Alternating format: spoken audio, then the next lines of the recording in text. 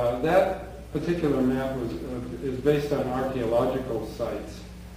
Uh, the bigger map on the right side of the handout is uh, Swanton's reconstruction of Caddo settlements that was based on his reading of a lot of no, historical records. You might notice there were two major clusters of towns.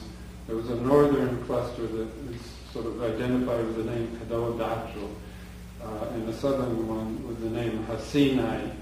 And then east of the Hasinai, which isn't so conspicuous on that map, there were other people along the Red River in Louisiana who are associated with the name Nashikush and Caddo means uh, Pawpaw place. Uh, and that's come down to us in the name of the city with that spelling. I guess it's called Natchitoches in, in English. Um, so it's kind of a French spelling. I, in one on the handout, I listed those three major uh, major divisions of the Caddo. The lower map on the left suggests, you, you sort of get an idea from that how these people were sort of uh, squeezed in by first Spanish uh, intruders and then French and then British.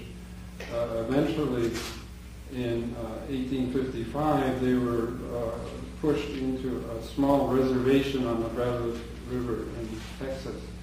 But only a few, like three years later, four years later, in 1859, they, they were being threatened to be massacred actually by white settlers in that area who didn't like Indians at all, any kind of Indians, And were forced to move kind of uh, running out of the Brazos reservation in the middle of the night uh, going north to the present location in the neighborhood of Anadarko, Oklahoma, which is where they are now. Uh, the, I, I, thought I should mention something about this word Texas. So the first word in two in the bottom right of the first page there um, is the first word there is, is the Caddo word Theisha, which means friend. And uh, it was evidently the way that people in the, these various Caddo towns referred to each other, I think in contrast to the Osage who were to their north and who were their traditional enemies. Uh, the Spaniards heard this word Teisha, uh, well, they spelled it uh, T-E-X-A, Teisha, uh, writing it as best they could, and then added the Spanish word, Spanish plural S, and that's where we get the word Texas from. Um, looking at three, at the top of the next page, uh, after the move to Oklahoma, the Caddo settled down in three principal groups. Uh, one called Nadako, which is sort of bumblebee place, and that's the source of the English place name Anadarko. The Kadohadacho, the first two syllables of which are source of the name Caddo, and the Hainai. Uh, Hainai is a somewhat divergent dialect that's spoken in the area of Fort Cobb, which is west of Anadarko. But these are very closely related, mutually intelligible dialects. And the name for the entire group, in English they're called Caddo, and in, uh, in Caddo they're called the Hasinai. Uh, Caddo culture was clearly part of the southeast culture area as opposed to, let's say, the plains area. They were agriculturalists. They, they weren't heavily dependent on the buffalo. And their religious practices and their clothing and so on were similar to those of other people in the south, southeast.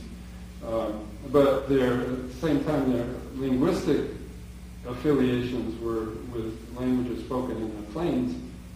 Uh, and you can see that in four in that tree diagram, the Caddoan language family.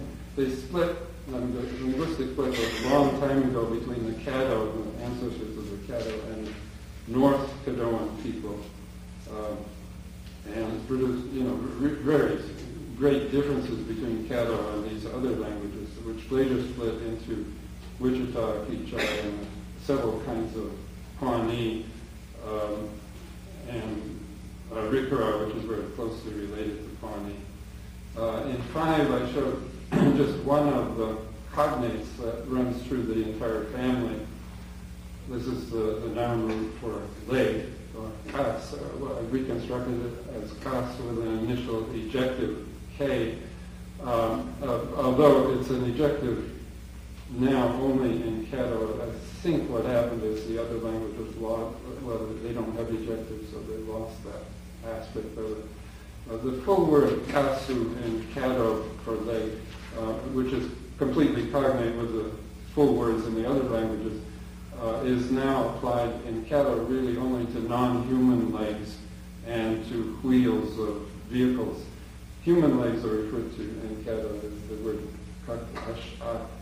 Uh, and I show you a breakdown of this word into three morphemes, a nominalizer at the beginning, kak, uh, roughly you could say in English, that which, and the noun root kas, and then the copula, ya'a, which, and there's a lot of business that so it comes out to be kakashpa. Meaning literally that which is a leg, but it's, it's the normal way of referring to it, a human leg in the language now, and, and uh, most body parts are treated in the same way, like that which is, uh, you know, arm or whatever.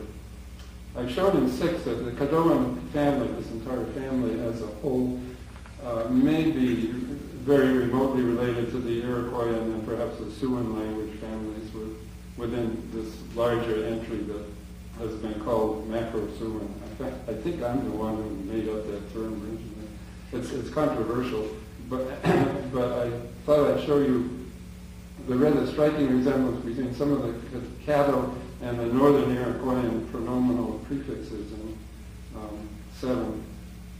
There's more, more to be said about several of these forms, but at least this gives you a kind of general idea of how this relationship is at least tantalizing.